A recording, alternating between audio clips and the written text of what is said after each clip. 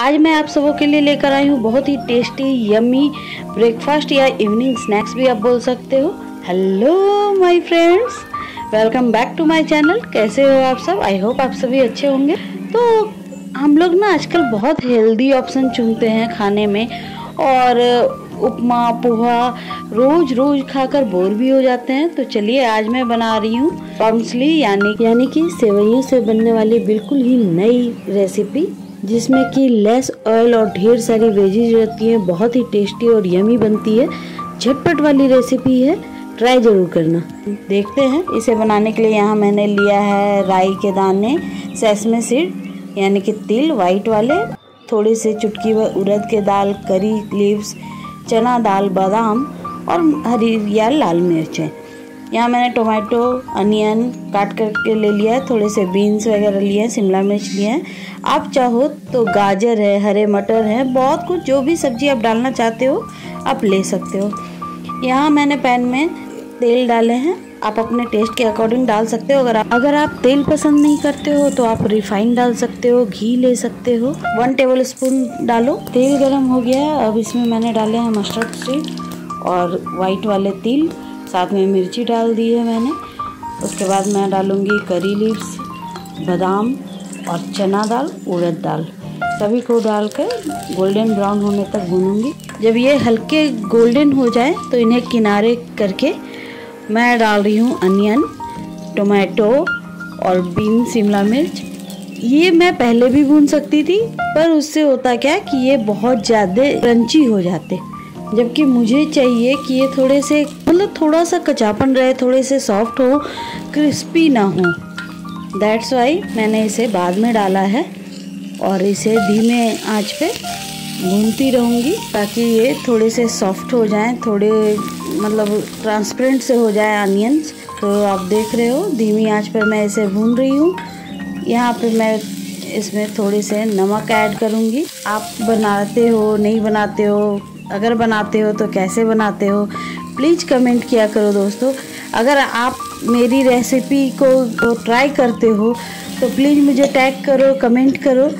मेरी ये Insta ID है। आप इस पर भी मुझे डीएम कर सकते हो। अगर आप और कुछ देखना चाहते हो तो भी डीएम करना। तो यहाँ मैंने वन ग्लास ऑफ़ वाटर डाल दिया है, यानी कि पानी। और इसे उबाल आने तक डालकर अच्छे से मिला दिया है।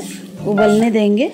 अब उसके उबलने का इंतज़ार करेंगे। इसमें मैं ऐड कर रही हूँ हाफ़ लेमन लेमन स्क्यूज कर दिया मैंने लेमन का रस डाला है हाफ़ ये स्वाद को बहुत ज़्यादा इन्हेंस कर देता है। टेस्ट बर्ड्स को हमारे थोड़े खट्टे चटपटे की आदत होती है।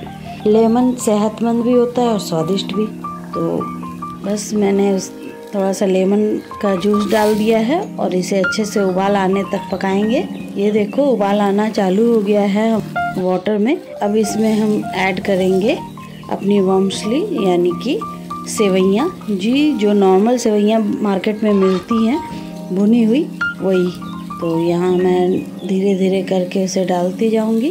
ये देखिए, बहुत इजी है, झटपट से बनने वाली रेसिपी है।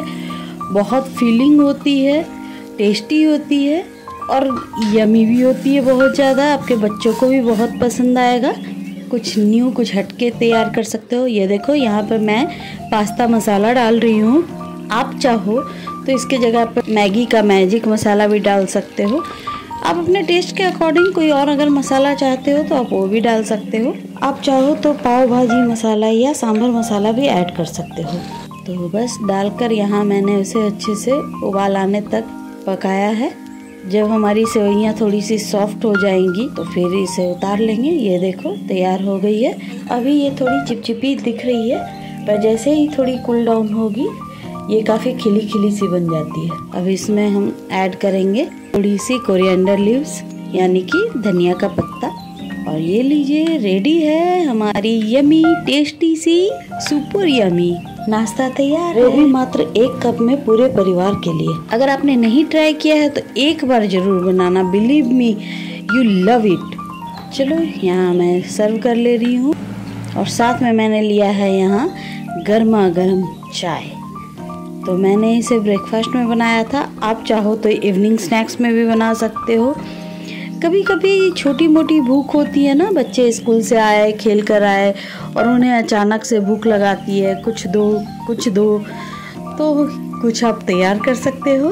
तो एक बार ज़रूर ट्राई करना और कमेंट करके बताना कि आपको ये कैसी लगी। Believe me, it's super yummy, super delicious. चलो, आपको मेरी बातों पर तो बिलीव है नहीं, मैं अपनी बेटी से ही पूछ कर आपको बताती हूँ, है ना? चलिए if you like it my video अगर आपको मेरी रेसिपी पसंद आती है तो प्लीज़ इसे अपनी भाभी दीदी मामी चाची काकी मौसी सभी के साथ शेयर कीजिए मुझे सपोर्ट कीजिए। कैसा बना है?